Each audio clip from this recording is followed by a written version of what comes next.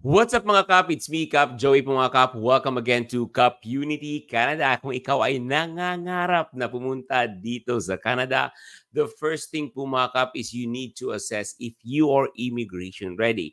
When you are saying immigration ready, ano nga ba to, no? So number one po mga Kap, the number one, when part of the immigration ready is the understanding of the program. Ano yung program, ano yung mga requirement, but basically po mga Kap, majority of our Canadian dreaming, the first step is to understand the program of the express entry. That's number one. Because once you have the requirements for the express entry, majority po mga kap ng other programs, especially the NSPNP or other provincial nomination program po mga kap dito sa Canada, they need or they have the same requirements gaya ng language tests ang ibang program, they have a specific score, but the language test is still IELTS general training.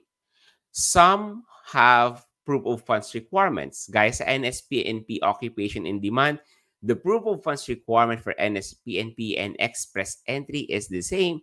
But when you're talking about AIP, iba ang kanilang proof of funds requirement. But basically, if you have documents or requirements uh, in Express Entry, you can use this to other program, right? And for the language test, education credentials, so this is one of the requirements in Express en Entry.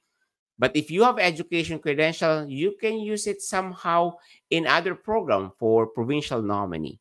So when you are starting to be an immigration ready, you want to start your Canadian dream, try to explore and understand the express entry requirement.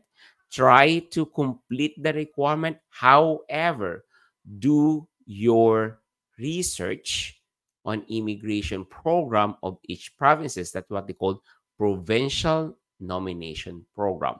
So each provinces pumakap, they have different programs. May iba't ibang program ang kada provinces. So you need to explore that one pumakap and try to plan. Because possible na express entry requirements mo kompleto na and balay mo may program specific para sa iyo and then the requirements is the same with express entry and that's the opportunities comes in. That's being immigration ready. So that's for today's tape. Maraming salamat mga kap. Follow for more at Cap Unity Canada.